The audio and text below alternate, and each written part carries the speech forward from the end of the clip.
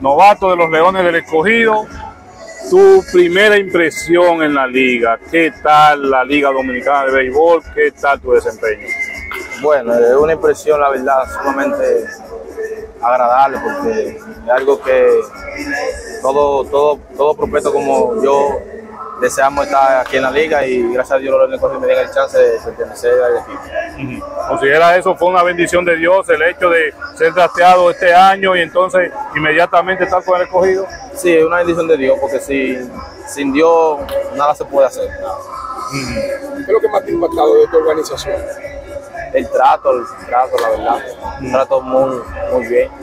¿Qué tipo de cosas, o sea, ha ido ajustando? ¿Qué cosas va a aprender, a seguir aprendiendo aquí? Bueno, el comportamiento, la verdad, la disciplina es algo que he aprendido ah, para llevarlo hacia la temporada que viene, si Dios quiere. Héctor, yo sé que todo es difícil, pero ¿qué entienden han sido las dos o tres cosas más difíciles para tú adaptarte a la liga? El juego, es un juego muy diferente al, al juego que yo juego en Estados Unidos.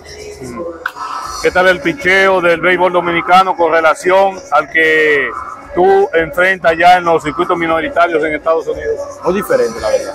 Ah, Muy diferente. ¿qué tanto la diferencia? Mayor la, la diferencia, la verdad. Más, veter- más veteranos, más que saben colocar su piche donde tienen que colocarlo. La verdad. Hablando de veteranía, ¿con ¿cuál es la persona que más eh, has conversado, que te ha dicho algo así, eh, trabaja esta parte dentro de, de la liga? Bueno, con Jimmy Paredes, Junior Ley, me han ayudado mucho, la verdad que sí.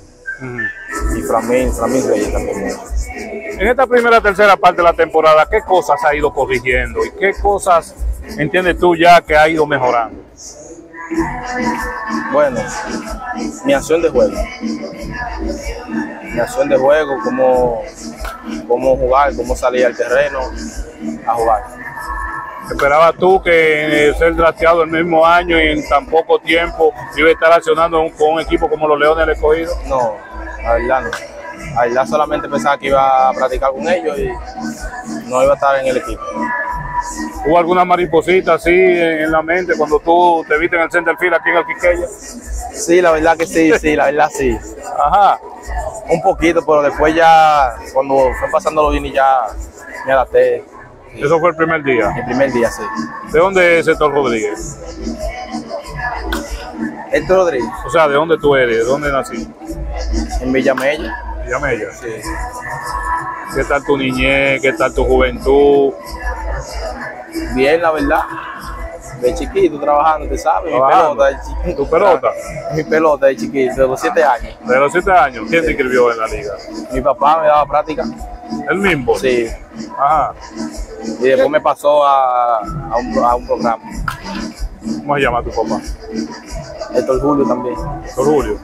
Ah, ¿te vio el talento? ¿Quién te vi- ¿Quiénes te vieron el talento por primera vez a ti? Bueno, el manager de medio de la liguita me vio el talento y dijo, muchacho puede, puede ser alguien en la liga, sí, puede jugar pelota. ¿Cómo se llama el manager y cómo se llama la liga? Coti. ¿Cómo? Coti. Liga Reserva. O sea, por eso la llevas en tu cadena, o sea, Coti, eso. eso- No, no, no, no. Ah. Este. ¿Otra pregunta, Carmona?